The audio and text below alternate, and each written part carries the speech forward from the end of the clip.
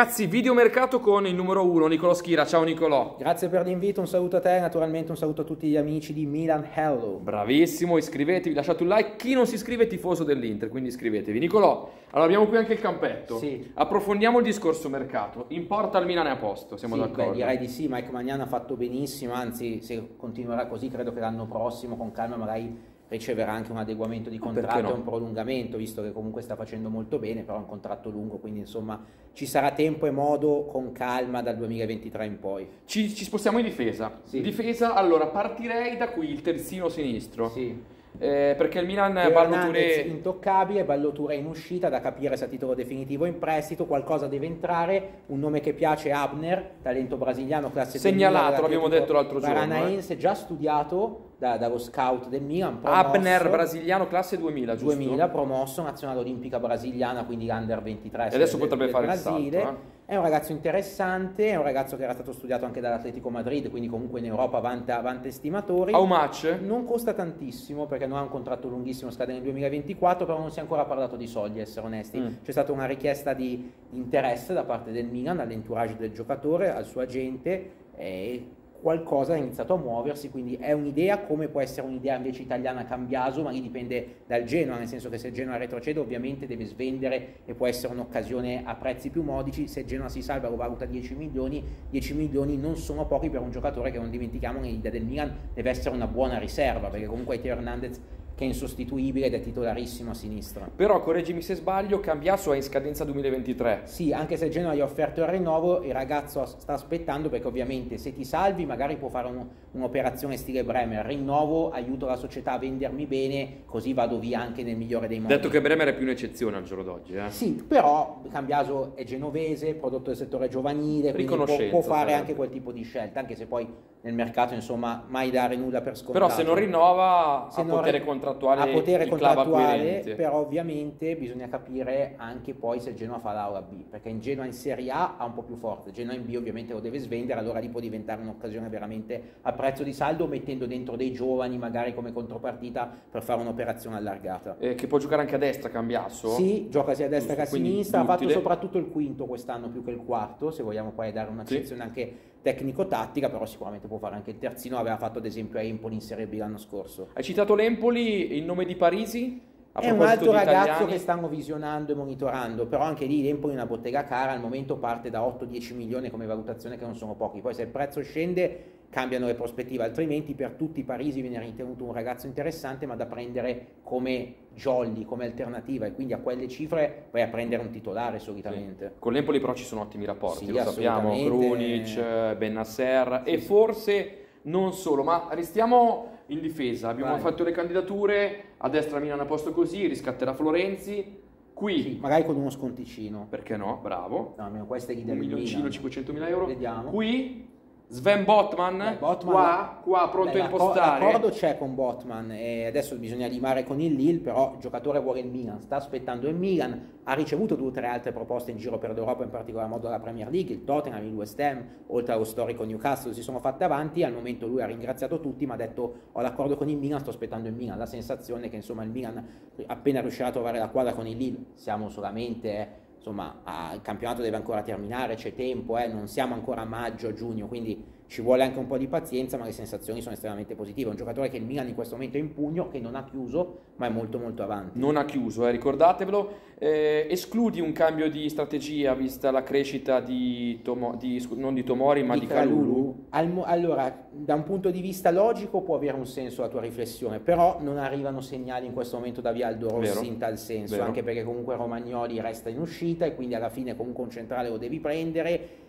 E dove va Romagnoli? Lazio, il primo a dirlo, Nicolò Schira, ragazzi. Molto molto interessata. Seguitelo anche sul suo schi- sito nicoloschira.com. Nico- esatto, grazie. Eh, ci spostiamo a Spazio anche centrocampo. autopromozionale. Eh beh, mi sembra giusto. Ci spostiamo a centrocampo. Il sostituto di che sì, magari con caratteristiche anche diverse. Sì, assolutamente, ci sono diversi Su Renato nomi. Sanchez ne parlavo prima, ti sento un po' meno caldo rispetto a un mesetto fa. Bisogna un attimo limare l'aspetto economico, perché comunque il giocatore ha uno stipendio importante, vuole guadagnare di più, insomma parte da una base intorno ai 5 milioni più bonus, un po' altina secondo il Milan, il Milan vorrebbe un pochino sforbiciarla, non di tanto, ma risparmiare qualcosina, le parti si parleranno nei prossimi giorni, atteso Arge Mendes, si parlerà ovviamente del rinnovo di Leao, ma si parlerà anche del futuro di Renato Sanchez, quindi sicuramente è un tema questo che il Milan sta portando avanti, ma non è l'unico, perché giustamente come tutti i grandi club devi studiare anche altre alternative. Dammi un paio di alternative, una ne abbiamo parlato Al mercato francese Fofana sicuramente un giocatore seguito, in Italia Frattesi piace molto, e poi ci sono anche delle possibili occasioni, ad esempio nei giorni scorsi al Milan è stato proposto una vecchia conoscenza, Brian Cristante, prodotto del settore giovanile, debuttò a 16 anni nel Milan in un Milan-Atalanta 3-0, è un giocatore che prometteva tanto, poi si era perso, poi è rinato, comunque un nazionale, un campione d'Europa, può essere un elemento utile in chiave liste, perché è italiano ma è anche prodotto del vivaio, quindi ha una doppia utilità sia per le liste della Serie A che per le liste UEFA.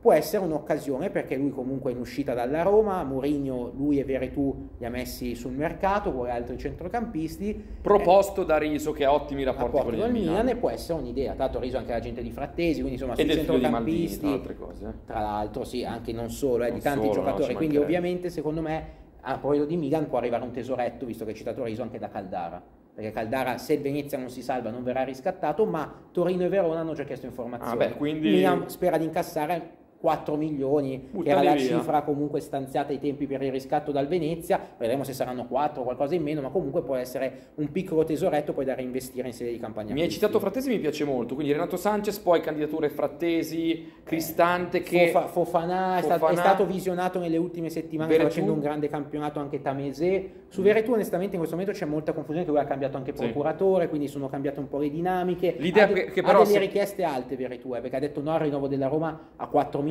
quindi mi mi sembra un po' fuori parametri Ciao Pep, anche perché ha 29 anni. Italiane. Su Cristante immagino è delusione, però l'idea è abbiamo Tonali, Bennasser, non ci serve un titolarissimo, Cristante è uno che comunque ha esperienza e quello che non investi sul centrocampista lo investi magari su a tre quarti, il famoso esterno offensivo. Ecco, arriviamo, arriviamo lì sulla tre quarti. Il tre, tre quarti barra esterno di destra? Sì. Più esterno di destra forse che trequartista in questo momento, studiando anche le occasioni che può offrire il mercato della Premier League, che ha dimostrato comunque negli ultimi tempi. Milan ha pescato molto bene con Tomori e Giroud, sta pescando con Orighi, ma anche la Roma con Tammy Abram, eh, il Napoli con Anguissà. Prendi quei giocatori che magari in Premier non sono dei protagonisti assoluti, ma sono comunque dei ragazzi con potenzialità e talento. In Italia, dove onestamente è inutile prendersi in giro la Serie A a livello più basso in questo momento rispetto alla Premier League, sono dominanti. Tomori era il quarto centrale al Chelsea, sì. è il miglior centrale. Fammi i nomi dell'esterno. Stanno valutando un po', un, po di, un po' di giocatori, non siamo ancora sull'identikit. Ci sono diversi in questo dossier, momento siamo un po' nella fase così. che vengono proposti tanti giocatori, si era parlato ad esempio di Ismail Assar, però Assar le richieste sono molto alte, quindi non convince del tutto, anche se è stato visionato. Lang? Lang viene visto più come esterno a sinistra, sinistra che però può e, giocare anche. Eh, lo so, però non adattato, se tu devi spendere 25 milioni per De Kettler è un trequartista, è un ragazzo che, che hanno, che hanno eh? visionato, sì, anche se più nel ruolo di Brahim Diaz sì. per caratteristiche diverso è comunque da Brahim rispetto che esterno. Lì bisogna poi capire anche se cerchi un giocatore polivalente o se cerchi uno specialista perché se vai a spendere 20-25 milioni è che devi andare a prendere una scommessa devi prendere uno che ti possa permettere di fare un upgrade. Per fare un esempio Berardi. Berardi è stato visionato non è che c'era bisogno di visionarlo già lo conoscevano certo. l'hanno ristudiato. È un giocatore importante a livello italiano ci sono dei dubbi che possa essere un top o comunque uno che ti sposta eh, ti fa la differenza, si sposta gli equilibri a livello internazionale, soprattutto sono eh, le valutazioni. Milan lo valuta 15-16 milioni, a quelle cifre lo farebbe. Sassuolo ne chiede 30, quindi oggi la forbice, la forbice è ampia. Eh. Però è il pallino di Pioli, lui vuole cambiare, non credo che abbia mercato all'estero, questo può far ben sperare, ma non tutti qui sì, dietro questo schermo sono estimatori. Il Sassuolo, eh. ti dico la verità, storicamente sì, magari partiva da una cifra venduta un po' meno, ma, ma non, non, a metà prezzo. Certo. Ecco, mi sembra a quelle condizioni. Beh, però magari a 22 e mezzo, che era via di bisogna capire, bisogna capire se per il Milan, giustamente, un giocatore che ha già 28 anni, quindi non è che ha tutte queste possibilità sì. di crescita. Il giocatore 28 anni è... primo agosto li farà quando sì, vabbè, comunque sarebbe comunque, insomma, poi alla fine della stagione. Ma quella... Scamacca?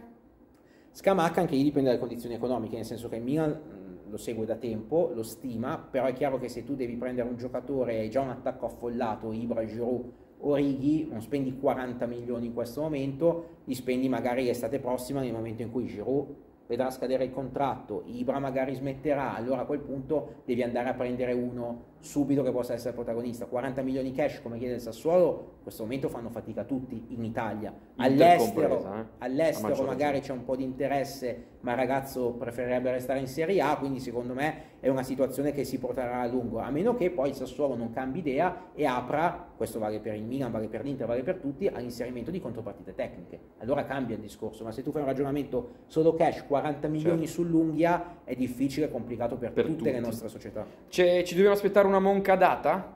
Ma qualcosina il Milan studia sempre, anche a livello di giovani, sono stati proposti, sono stati visionati tanti 2005, 2006, 2007, ovviamente che andrebbero nell'Under 17 o in primavera, che il Milan comunque in questi anni ha operato anche, anche in tal senso, l'abbiamo visto anche insomma, in occasione dell'ultimo torneo di Viareggio, quindi il Milan sicuramente lavora in prospettiva, non cambia la sua filosofia e politica aziendale, al tempo stesso però l'abbiamo visto anche con occasioni tipo Giroud, tipo Kier, se c'è un giocatore importante con i parametri giusti sia tecnici sia economici, anche se vuoi di valori, perché comunque Maldini vuole anche dei giocatori che abbiano un certo modus operandi in campo e fuori, poi è chiaro che il Milan si fa trovare pronto, ma la base c'è, deve fare quei 3-4 acquisti per ulteriormente alzare l'asticella, sì. ma non dimentichiamo che comunque è una squadra che già sta lottando per lo scudetto, quindi significa che ha delle individualità di un certo livello. Le altre news su nicoloschira.com, andate numerosi mi raccomando, vi invito a lasciare un like e iscrivervi qui, chi non si iscrive, come dico sempre, tifoso dell'Inter. Nicolò, grazie. Grazie a voi, è stato un piacere, un saluto a tutti. Alla prossima, ciao ciao ciao ciao ciao.